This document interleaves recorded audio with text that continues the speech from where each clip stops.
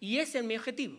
El objetivo es recuperar la igualdad en esta ciudad, como lo está haciendo Susana, con claves esenciales, dando los mismos derechos y oportunidades basados en la salud, en la educación, en esa confianza diaria con los planes de empleo que están haciendo mucho en esta ciudad a pesar del Partido Popular.